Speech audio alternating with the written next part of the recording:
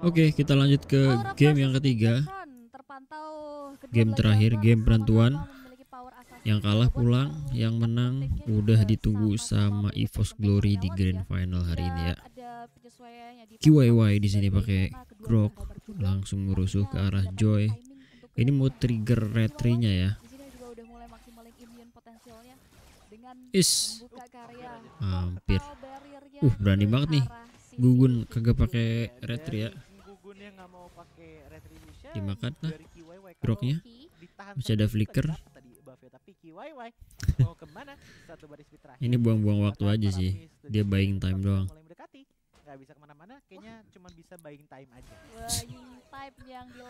Dikasih makan Faramisnya. Faramis Mino ini ya, draftnya lumayan ngeri nih Aura ya. Faramis Minotaur. Sin eh Sin lagi. Harit lagi maksudnya. Oke, Arlan. ya. Lane, Masih ada Vengeance di situ. Udah Wah, yang dimaksimalkan oleh Super membuat Di-commit, first blood cuy. berhasil sorry satu poin kill berhasil diamankan Ya, Masih poin hidup. berhasil diamankan, namun Turtle masih Turtle-nya juga belum muncul ya.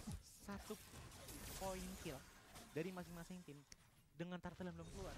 Ini kayaknya Gue belum lihat. Gue belum pernah lihat Kabuki pakai sama-sama Harit sih. ingin berkukuh untuk ngambil ke arah modal pertama mereka. Karena Wah, Eman udah pakai Kari, mulai Salah satu hero powernya Eman ya. 100 gol bagi Kari ini setahu gua. mau nggak mau Aura juga harus ngambil ke arah turtle-nya untuk bisa menyamakan kedua hal tersebut ditambah dengan mereka ngebawa ke arah Joy ini mau nggak mau yang cepat Hmm. Oke, turtle-nya udah langsung di tarik, tapi nggak jadi. Balik lagi. Masih pada level 3. Oke. Arannya juga baru level 4. dari QYY juga udah mulai dibuka di area Groknya masih level 3. Turtle akan menjadi satu sorotan Sekarang sih udah nggak bisa narik. Turtle atau Lord terlalu jauh ya. Tuh lihat tuh, langsung ke reset. cari informasi, mencari keba- keberadaan dari sosok Yawi. Uh, Wall Yawi. Nah, ulti Faramis. Udah mulai mendapati level 4 ya. Sedangkan Yawi yang masih Flicker. level 3 Wah, harus buang ke banyak banget. buang banyak skill. yang cukup agresif Aura ya. Bigetron Alpha di area mid lane. Nih, Oke, kayaknya dan BTR ya. Skillnya kebuang semua kan, nggak ada ulti Faramis. saja, bahkan lihat bagaimana pergerakan dari Sorizo Tapi Minonya di level sedang 4 sih. info di reset lagi Ada nih pada alergi siput apa gimana nih? mencoba untuk mengganggu ke arah dari orange buff-nya King Gugun dan Oh, gugunnya masih farming. Oke. Enggak tipis-tipis aja, ngambil Bawah ya. dikit-dikit. Oh, Ngambil dikit-dikit. menarik ya. Nah, dia ini langsung turtle nih. Bisa perang lagi nih, dulu, udah ada ulti lagi. Dia secure karya turtle. Padahal tadi Eh, tapi Faramisnya menggunakan belum ada ulti ya. Dan dengan adanya Yawi yang Yawinya udah. untuk memanggil kawanannya untuk mengarah Wah. karya turtle yang berhasil di take over Dapet King kembali oleh sosok situ. Super Cat. Ya, dan bahkan tadi ada sedikit Ghostbusters Waduh, tidak cukup dimakan. Bisa menghindarkan teman-teman dari Big Dragon Alpha agar menjauh Uh, dan bahkan habis saja Wak Yawi dengan seorang Minotaurnya ternyata masih bisa dikejar di tangan dari Arlot dan dua orang telah menghilang Ngeri di juga nih. area mid lane. Ya, dua orang menghilang. Si Bahkan Lord sosok JM ini ya. bisa maksimalin untuk platingan gold hingga dengan habis di area mid lane. Sedangkan zaman first dikeluarkan, Syncrovision yang masih bisa dihindari dengan immune e- efek yang diberikan oleh KYY. Sedangkan Oke, Cat gocek-gocek tipis di situ. Ya, mengusir mundur dua player di area bawah. Iya dan dua player di arah bawah pun akhirnya mau nggak mau mesti nahan-nahan dulu nih di area gold lane. Khususnya untuk di area aura sih. Karena mid lane mereka tuh udah rugi bandar gitu loh. Udah hilang gold shield turret dan terus tekan mulu Uh, di bawah. juga langsung ulti. sama. Apalagi Eh, dari Yawi. turret masih utuh ini bakalan bener-bener dari Big Alpha tapi ternyata mereka masih bermain dengan cukup sabar Masih safe ya, masih safe zone yang dipilih oleh teman-teman Aura ya kan untuk tidak terlalu buru-buru ngasih follow up juga. Kalau kita lihat juga di area top lane setidaknya Aran bisa menukar kematian dia di awal dengan eh, ngambil setengah dari platingan gold sih di area top lane. Ini pasca kekosongan ya karena dari tadi kalau kita lihat Sorizo aktif banget untuk ngebantu karya momen seperti yang bakal kita lihat juga di mana KYY udah mulai memberikan satu buah serangan yang di follow up oleh Miss Chat mengarah ke area Yawi dan orange buff yang diamankan oleh King Gugun tahun 4 tidak begitu tenang Uh. karena Yawinya pun Yawi terkikis ulti buat apa? adanya fracture dan nyaris saja hilang di tangan seorang super cat. Seenggaknya par- itu ngebuang eh, resource-nya dari Minotaur. Kita dapat. lihat buff-nya pun diambil oleh Super Ken. Ini udah sama-sama nggak punya Dapat Super Ken lagi. Kalau sampai start keluar tapi sebentar dulu Harith akhirnya mengeluarkan sedikit jalan tol yang mencoba untuk memberikan damage auto lebih banyak lagi ke Waduh. Alpha namun ternyata disamparkan oleh teman-teman eh, dari Bigetron Alpha dengan Eman menghilangkan Harith. Otomatis Gold Shield Turret akan dipus di arah Tuker. bahkan Turret diambil dengan yang mengorbankan Ngeri kan? Yes. Karinya Betul, Emon ya. harus tumbang ya di 1v2 situation, tapi dibayar lagi. Kalah aura objektif. Tapi dua game tadi sih menang early. Kayak pada langsung nge comeback gitu cuy. Kayak nggak ngejamin menang gamenya gitu loh. Ada tiga gap level antara Gugun dan juga si Super Ken. Tapi high ground BTR kuat sih late game sih. Ada Lilia mengejar gitu ya. jungling power dari Aura karena gold game-nya juga udah mulai berasa di angka 3000. KYY juga dari tadi mau sebanyak apa pun dia mencari informasi ke dalam rumputan dia tembak cuma sekali. Iya.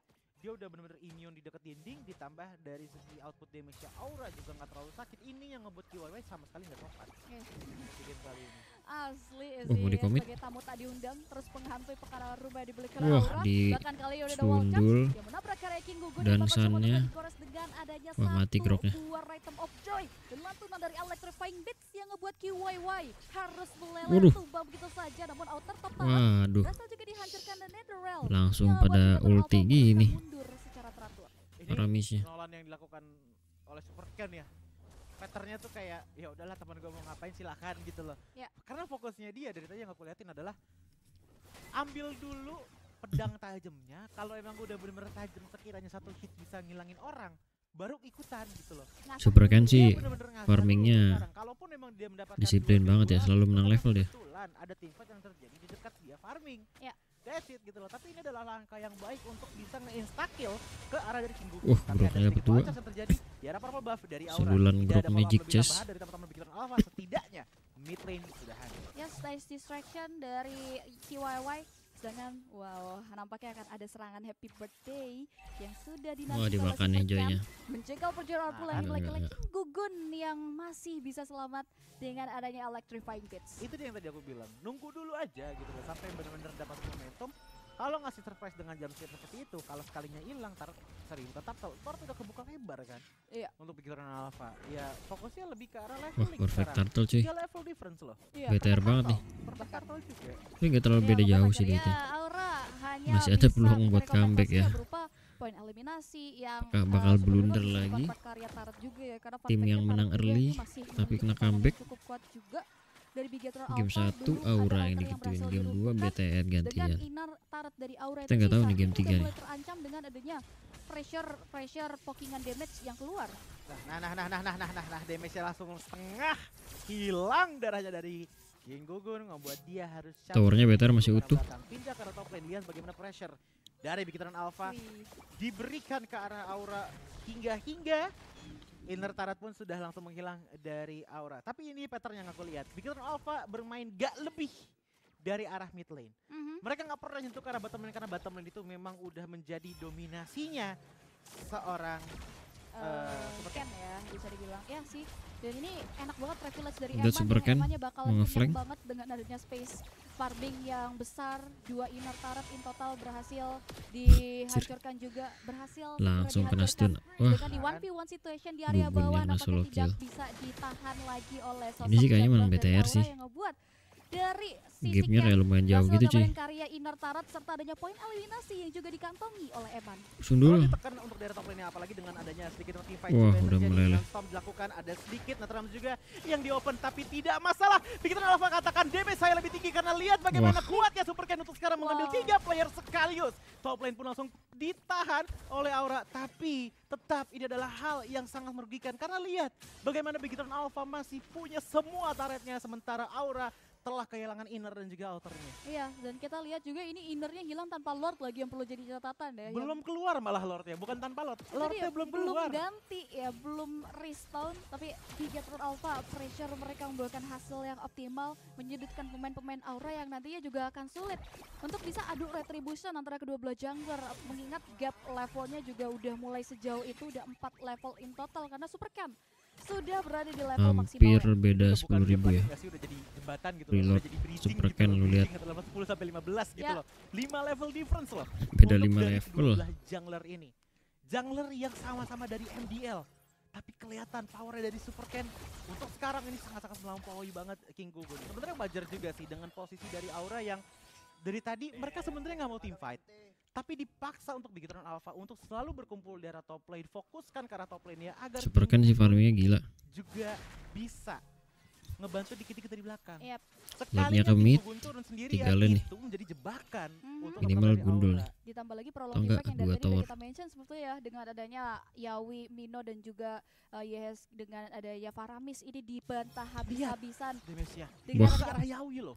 Yawinya setengah darah. Darah ke sosok Yawi yang harus mundur. Yawinya regenerasi ulang XP-nya sedangkan empat pemain lainnya disibukkan untuk memukul mundur Lord yang berhasil menghancurkan karya base build para jadi Blake oleh pemain-pemain dari Aura The Black Shoes yang berhasil dikeluarkan oleh Moreno untuk mundur ke arah belakang Lordnya ditarik ulur agar tidak langsung mengarah ke area garis lurus high ground potential yang dimiliki oleh tim Aura Ini super kan udah kayak ngeghosting ya. Ada team fight ticket ya udah dia masuk tapi kalau nggak ada hasil dalam dapat 5 mid detik doang. ya mau ambil Selalu atas. bermain dengan kayak gitu, selalu bermain dengan safe karena dia udah nyimpen tabungan yang cukup besar. Tapi lihat di arah top lane bagaimana teman-teman dari Giton Alpha mencoba untuk push atas BTR-nya. menghancurkan top lane turretnya. Sedikit wall charge dikeluarkan namun Waduh, ternyata meninggal. tidak cukup untuk bisa menumbangkan teman-teman dari Aura. Justru Waduh, tumbang tapi Eman masih dengan darah yang penuh. Ada network kan tapi tidak masalah karena lihat bagaimana grounding dari Lilia sudah memukul mundur teman-teman dari Aura. Membuat teman-teman dari Aura pun tidak bisa melakukan defensive Bagus. maneuver di arah top lane ya. Minion pun berjalan tapi mid lane pun terbuka yang membuat ada beberapa super minion juga yang telah masuk di bawah tidak yang mendorong tapi Benar-benar ternyata dikandangin masih Aura ditahan nih. oleh teman-teman Ya satu untuk dating masih ada File Slash masih Waduh. ada perlawanan perbedaan Karinya lihat. Astaga. berhasil diamankan oleh seorang Kabuki shutdown bahkan berhasil juga Shutdown, ya. diamankan yang membuat Piketron Alpha gagal guys, ya. bisa melakukan one strike push justru defensive maneuver yang dipersiapkan oleh Aura yang Bobo comeback lagi nih. Harus mundur kembali secara teratur Emannya hilang. Tapi lihat di goal gapnya. Sekarang goal gap udah menyentuh di angka 8000 dengan inhibitor yang sudah menghilang di arah mid lane. Ya. 40 detik lagi hingga Lord muncul tapi entah kenapa melihat Kalau Lordnya dapat aura bisa comeback. Aura. Kemungkinan ini bakal jadi Waduh. sama apalagi lihat bagaimana dengan King Gugun langsung ditumbangkan dengan King Gugunnya ditekan langsung hilang. teman-teman dari Aura pun agak cukup jauh Harit. untuk pulang ke tempat yang aman. Kabuki. Membuat mereka terpaksa untuk melakukan team fight. Netral pun juga dibuka untuk memberikan nyawa Padahal draftnya perangnya strong banget ini Aura nih ya. Melakukan defensive manuver melawan Bigitron Alpha. Bigitron Alpha juga Sakit masih banget Nolan. dengan adanya pergerakan dari Super Cat dan menggunakan fracture-nya. KYY pun di arah depan memberikan sedikit guardian barrier. Tapi ternyata itu tetap merugikan bagi teman-teman. Nggak dari sih, kayaknya menang WTR sih. Mereka telah kehilangan HP secara banyak. Kecuali BTR-nya Ya, blunder lagi. Atau ya, kayak N gitu. polanya masih dengan job desk-nya juga untuk mencari informasi sedangkan empat pemain dari Bigetron Alpha sudah mulai menyambut Lord kedua harusnya dengan banyak damage yang cukup eksplosif dari sosok Eman dan lagi-lagi free Lord jadi diamankan oleh pemain ditahan gitu uh, Lordnya. Bigetron sedangkan Aura Biar apa, cuy? untuk mempersiapkan Ditahan oh biar spawnnya ya coba sedikit uh, cari pertukaran Agak lama dikit ya. adanya gerakan di area bawah. Tapi tadi Cipi notice nggak Dua, gimana tiga. Dia nggak langsung ngambil ke arah Lordnya. Mhm. Dia nunggu dulu sampai minion wave keluar, baru Wah. Lordnya diambil.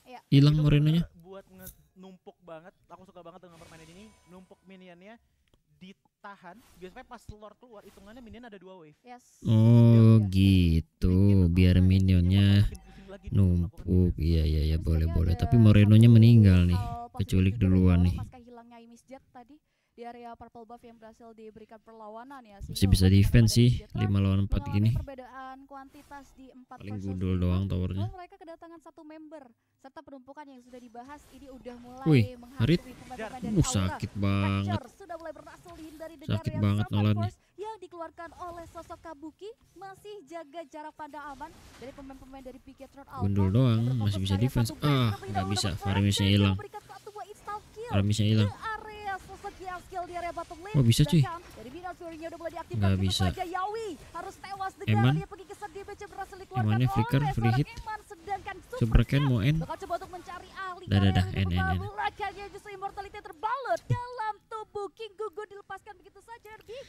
Enggak jadi comeback ya Berarti uh, BTR yang langsung lawan EVOS nanti malam. Oke ya, makasih udah nonton. Kita ketemu lagi nanti di video berikutnya.